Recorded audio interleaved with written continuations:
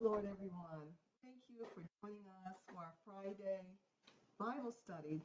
Our elder Milton Andrew is going to take us to a word of the Lord that's going to bless us and give us new information on subjects that have been talked about before. But he always brings a new perspective, and we're happy about that. I just wanted to say we are entering into the special season. It's uh, 10 days out from Resurrection Sunday. Next week is Good Friday. And it just came to mind that we know the walk that Jesus took for us. We know that uh, the book of Luke will give us all the details about the resurrection. Well, for just a moment, I wanted you to look at this from another perspective. As we look at our families and the things that we've gone through this past year, many negative situations have come about, certainly the pandemic. But for some of us, it's been more than that. It's been catastrophic, catastrophic events that have come about. It could have been the hurricanes that came, the floods that came, the fires in some instances. And this last few months, there were ice storms and, and um, breakage of water pipes that created problems for our family in Texas as well as yours and other places too.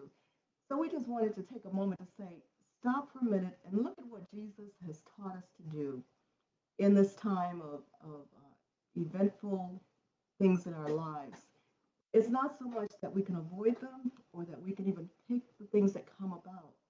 But one thing we have learned and he's taught us is that we can decide how we're going to handle these things. We can't pick the situation, but we can make a choice and a conscious effort to walk through it in a way that will be helpful to not only us, but our families and those around us. Our families not only hear what we say, but they watch what we do. So we can give them a lesson in how to endure to the end, that we can be the light on the top of that mountain, on the top of that hill, that can be an inspiration to others around us. If we get bad news or whatever it is, if we're losing uh, loved ones to terrible situations, we can't change that, but we can come out of it in a way. We can withstand it and endure so that our families will know that when trouble comes, there's a way to handle it and that we can turn to the Lord and He will walk us through. So, in this Easter, in this resurrection season, let's remember that we can be an inspiration and help to our family and how we choose to live our lives. God bless you. Elder Andrew is going to come and he's going to bring us a wonderful lesson about fasting and how it applies to what we need to do with the Lord. God bless you and enjoy this resurrection season. Thank you, sweetheart. My God, my God. I, I just love hearing my wife speak. Maybe a little prejudice, I don't know. I guess it is. And uh, we had some conversation even before we began the Facebook Live, and we talk about some things. And I'm just so honored to have someone that I can um, throw out, and she can tell me what she think. Don't have to worry about my feelings. She just deal with truth, and she know I respect that. Praise the Lord, everybody. Giving God a the honor and praise. We got a new format here. We're trying to get together. I'm trying to uh, pick up the Joe Hewitt type spirit because he's so excellent in all that he and Portia Hewitt does.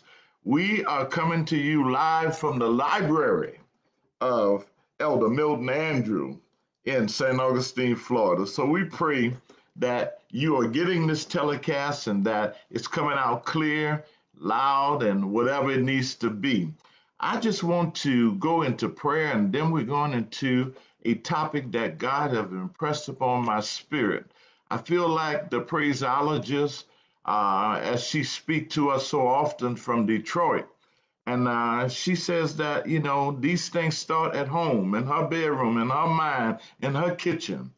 And now God has impressed in us to share them to others. So when I talk to you today, I'm actually talking through myself to you. So we're going to pray that God has his way and that God fix us to be what we need to be in this last and evil day. Father God, in the name of Jesus Christ, we bless you, we praise you, and we lift you up. We thank you, Lord, for those, Lord, who have locked in and tuned in because we know that they have been ordered by you to be here. For you have a word, Lord, that you would like to speak into their spirits on this day. We pray for those, Lord, that would replay, that we all, Lord, continue, Lord, to strive, Lord, to see your face and to do those things, Lord, that are pleasing unto you. Bless us, Lord, in our efforts today to be a blessing unto your people. And God, we shall remember and give your name the glory and the praise. It's in Jesus' name that we pray. Glory be to God. I, I, I bless God for you, Luann, uh, Kalisa, my big friend. call him my big brother. I'm older than him, but Joseph Hewitt, I, I bless you guys. Uh, uh, Monique, I bless you, Deborah Smith. I bless you all for coming. And I ask you to hold on for the next 25 minutes. I believe God is going to speak to us where we are and where we need to go. Turn with me to Isaiah, the 58th chapter, verse number six.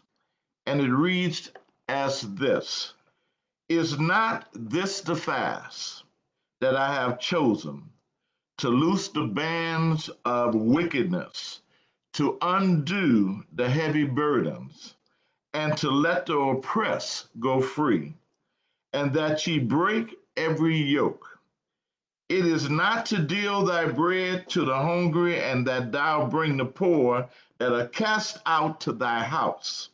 When thou seest the naked, that thou cover, cover him, and that thou hide not thyself from thy own flesh. Then shall thy light break forth as the morning, and thy health shall spring forth speedily and thy righteousness shall go therefore, go before thee. The glory of the Lord shall be thy re reward.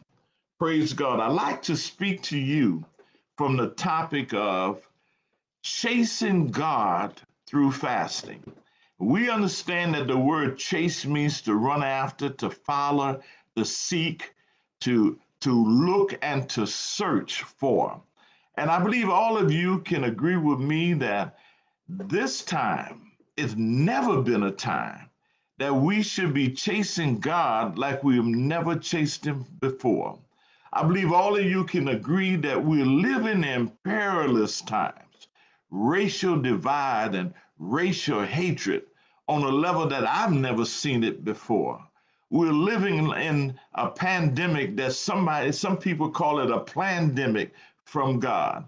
We're living in isolation from our families, from our friends, and from our churches. Death from the pandemic is at a high. Loss of jobs, sickness in our bodies, isolation. All of these things have come upon us in this last days. And you understand this that Satan desires, his mission is to hinder us, to prevent us, to stop every prayer meeting. He must rather us pray, no, talk together about Jesus than to get on our knees to pray to Jesus. See, Satan realized this that there's power in prayer and fasting.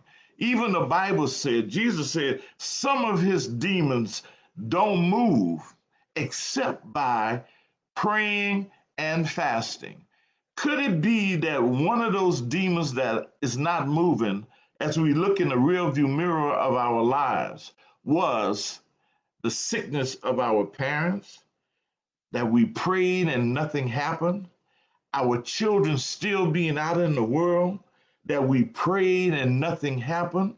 Jesus said, These come out except by nothing but prayer and fasting. My brothers and sisters, prayer and fasting are two of the most powerful weapons that God has given us to operate, to navigate through these perilous times.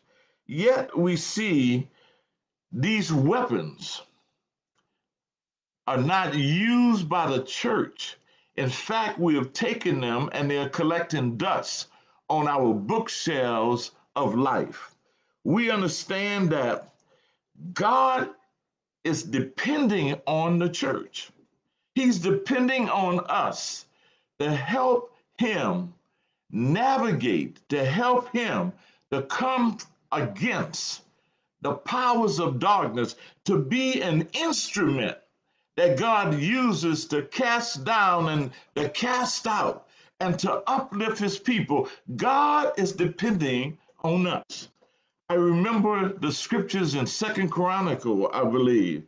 He said that if I should shut up the heavens and there be no rain, if I shall send the locusts to devour the land, if I shall send pestilence among my people, he said, if my people who are called by my name would humble themselves and pray and seek my face and turn from their wickedness, he said, then I would hear from heaven and forgive their sins and heal the land. My brothers and sisters, this land need healing. My brothers and sisters, God is depending on us to be that catalyst that he uses to come against the forces that have come against us, the church, and this world.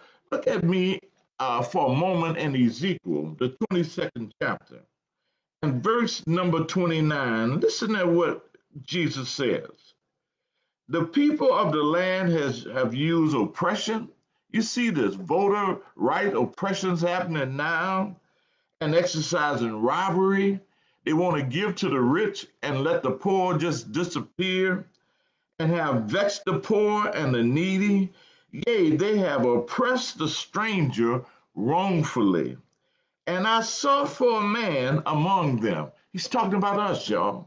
He sought for a man among them that should make up the hedge and stand in the gap before me for the land, that I should not destroy it, but I found none. Therefore have I poured out my indignation upon them. I have consumed them with fire of my wrath. Their own way have I recompensed unto their heads, said the Lord. God is trying not to bring destruction upon mankind. He needs us in the ministry of reconciliation. He needs us to be able to hear and see and understand his ways. When I look at this, I, I, I look at the fact that Second Corinthians, the 10th chapter, verses 3 and 4, it speaks to the fact that he says that we live in the flesh, but we do not war after the flesh.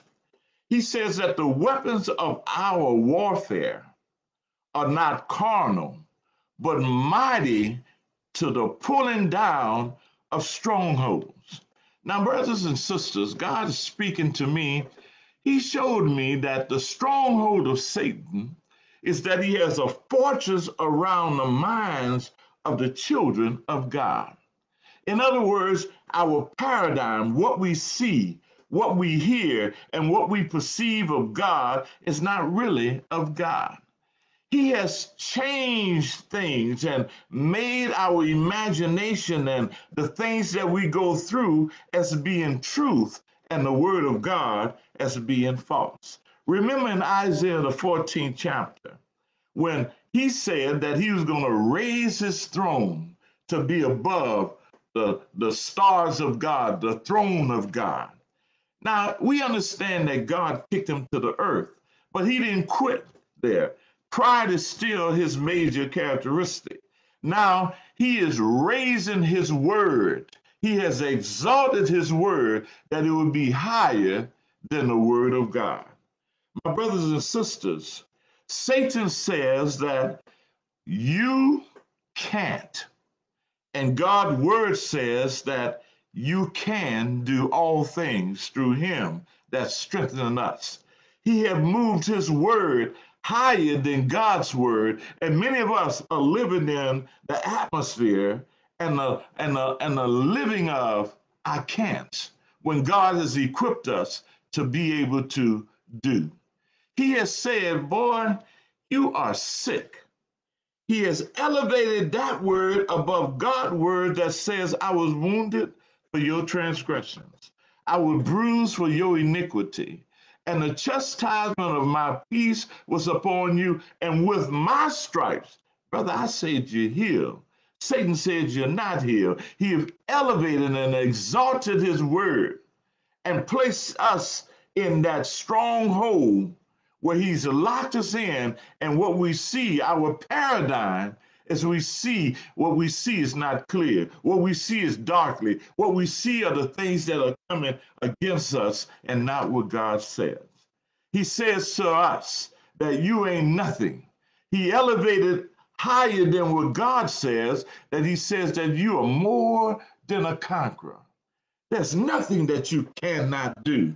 With God before you, there's nothing that can come against you.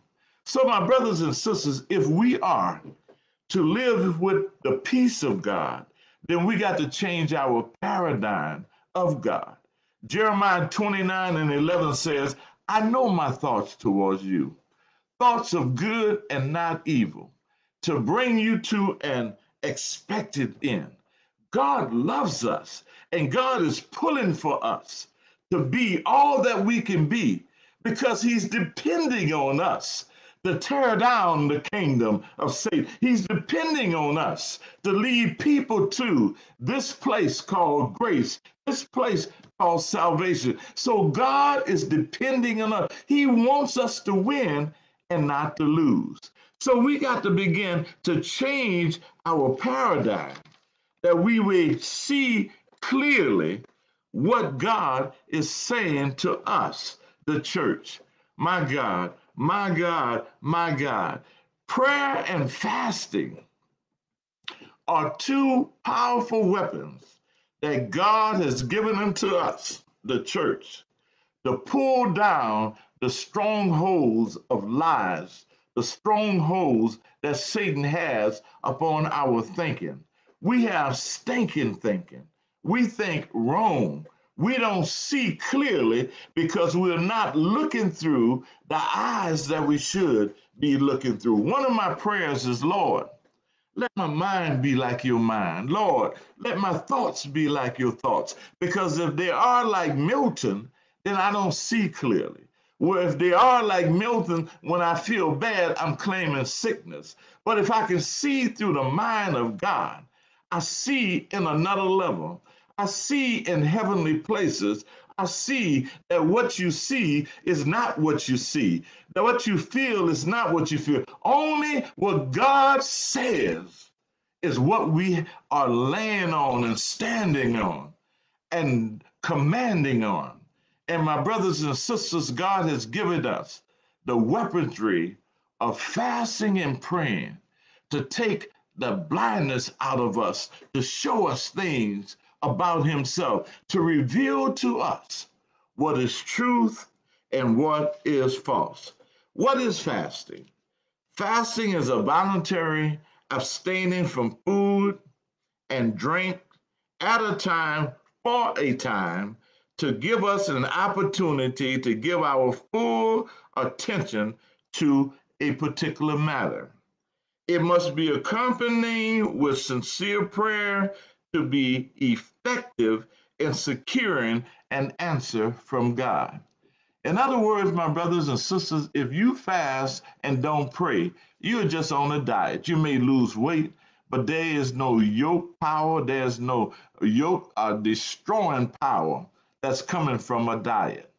You got to understand that you have to give yourself to fasting. And look, man, this is the hardest thing that I have to do in the world of God. I hate fasting. Glory be to God. But God has impressed in my spirit that I have to fast to last. I have to pray to stay because Satan is going to knock us off of our axes and have us way over in left field, way over in right field, and not in the field that He have called us to be in. The other thing that you got to understand that you are sustained by every word that proceeded out of the mouth of God. You're not sustained by food. You are sustained by God.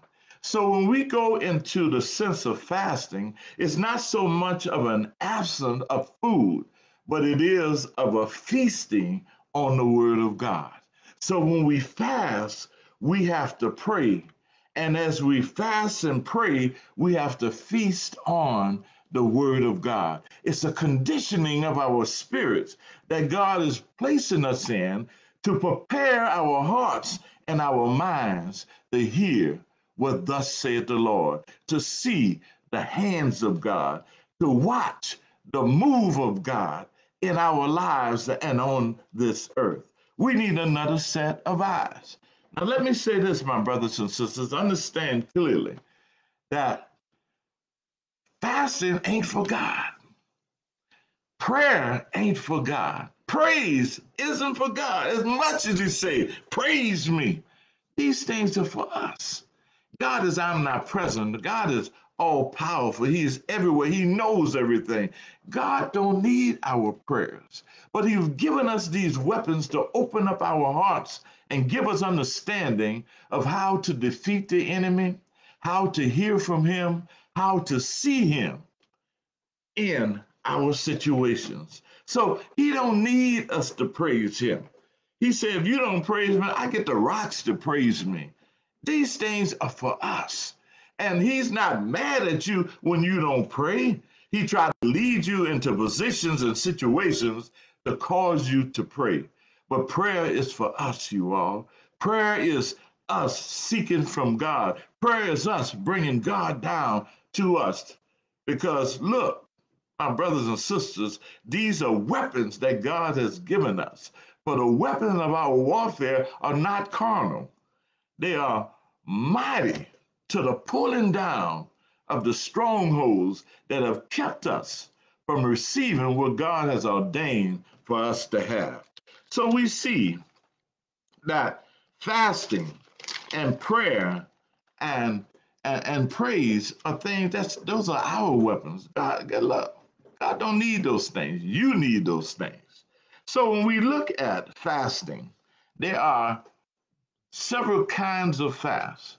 And as I studied uh, through the Bible and on this topic, I found nine different kinds of fasting done in the Bible.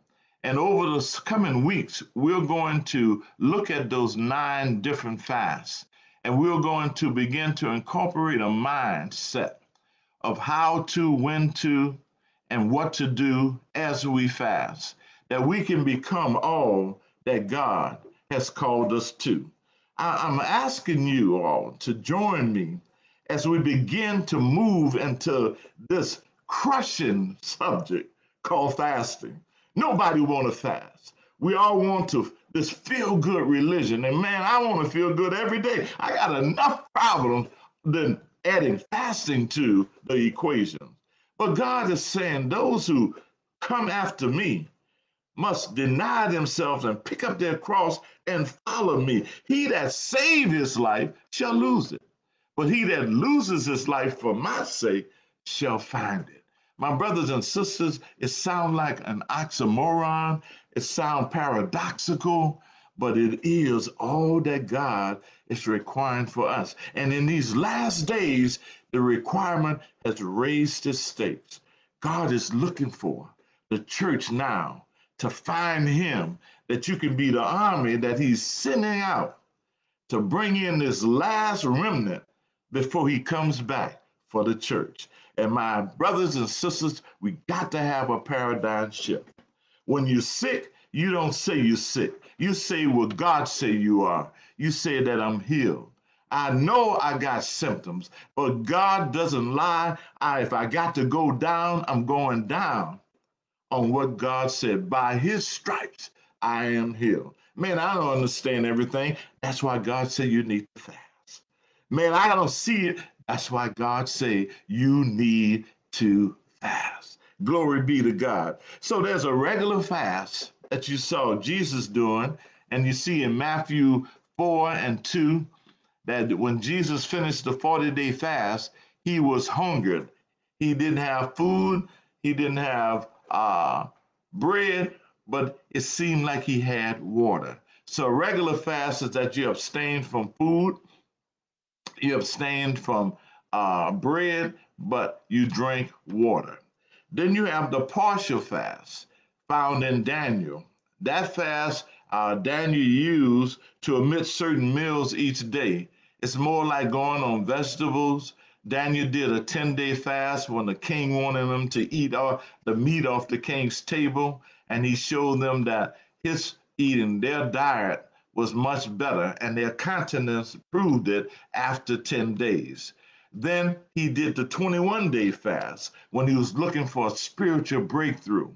When there's questions that you need, when there are forces that are blocking and holding back God's answer to things that you need, things that you have to have, things that are blocking you from being what God is calling you to be. And, and when the angel came, he came and said that, look, God had already sent it, the answer, when you begin to pray. He said, but he was stopped. He was fought by the prince of Persia. He was fought by the princes of the air. You see, most of our answers are coming from heaven. They're coming from a different dimension. And sometimes they are clouded up. Sometimes they are hindered by the powers of spiritual darknesses in high places. So sometimes we have to wait. But he sent Michael, the archangel, who came and fought off the prince of Persia and allowed the answer to come through. So God is answering our prayers. Sometimes we got to do our part. Sometimes we got to hang in there and, and, and, and fast and pray that God can actually move in and break the forces and give us the spiritual breakthrough that we need. And, and, and we see that the benefits of fasting, it brings deliverance, as we read in Isaiah 58 and 6. It releases our faith for healing, as we read in Isaiah 58 and 8. And it disciplines our body, as we read in 1 Corinthians 9 and 27. It gives force to our prayers as we read in Ezra 8 and 23. When we fast, our main objective should be to minister to the Lord through worship and by giving ourselves wholly to Him. My brothers and sisters, I'm just about finished, but I need to, you to understand that it is a time of refreshing. Look at the other benefits of fasting. It expresses griefs, it brings your flesh under subjection. And my brothers and sisters, all of us, if we are honest, know that this flesh needs to be brought under subjection. For guidance and direction, some things we don't know. Some of us are marrying people that we shouldn't marry. Sometimes we got to fast and pray get the answer from God of what we should do in terms of our lifelong mate. Some of us are made shipwreck because we have deified ourselves and chosen our own wives and built a do it, use a do it yourself kit and made our own blessings. God is saying you can't afford to be wrong in this end time. You got to fast and get the mind of me that I may lead and direct and guide you into all things that I've ordained to be for you. It's the signs of national repentance you see that in when we study these fasts, you're gonna find out that they even fast for the whole nation. Uh, it, it's, it's, it's necessary because our nation is in peril. And if we, the church, the light of the world, the salt of the earth, don't take a stand and be intercede for the earth, then this earth is in perils. I mean, people are going to suffer and die needlessly because we didn't find ourselves in the place that God has ordained us to be. It helps us to seek the heart of God. It helps us develop a closer relationship with God. Some of us are just shadow boxing. Some of us go into the prayer room and man, the prayers hit you back from the ceiling, back on your head. because we have not gotten closer to God. We are fleshing our way through this thing, and God is wanting us to kill this flesh and let the Spirit of God become partners with your spirit and move you into all that God has for us. To afflict one's soul, to discern the will of God, appointment of ministers, to seek the mind of God, divine intervention, spiritual strength and fortitude, and spiritual breakthrough. Chasing God through fasting. Man, we got to keep on until we find God. We got to find Him in the essence of His calling upon us and His purpose. Give us spiritual strength to help us in times such as these. My brothers and sisters, we're going to try to reintroduce you to the excitement of fasting and praying. We want you to understand that God, through fasting and praying, still answers prayers. That God, through fasting and praying, still break every yoke. We want you to understand that God is still doing great things. We just got to move our eyes from the natural and see in the spiritual. For God says that the just must walk by faith. We walk by faith and not by sight. We will never see unless we dismiss this flesh and fast and pray that God will give us eyes to see that they are more with us than against us, that we have more power in us than the forces that comes on the outside of us. So, my brothers and my sisters, I want you all to stick with us down through the weeks as we deal with the disciples fast, as we deal with the Ezra fast, the Samuel fast, the Elijah fast, the widow fast, the St. Paul fast, the Daniel's fast, and the Esther's fast. We want to cover these fasts that we may be in a perfect will of the God that have called us out of darkness into this marvelous light to show forth the praises of him and the mighty acts that he's done in and outside of us. My brothers and sisters, hang in there. Keep on keeping on.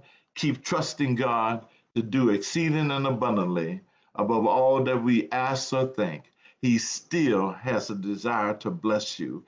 He still has a desire to see you married. He still have the desire to save your children. He still have the desire to prosper you. Fast and pray and let him lead and guide you into all these blessed things that he desired to give unto us. God bless you. Father God, in the name of Jesus, we thank you for your visitation. Help us, God. Help me, God, to put into their hearts, their ears, what you placed into mine. That this is a time, Lord, this is the season that we got to come back to you and come back to you in a mighty way. Bless us, Lord, that we may be a blessing. We give your name the glory and the praise. It's in Jesus' name we pray. Love you. Until the next time, God bless you.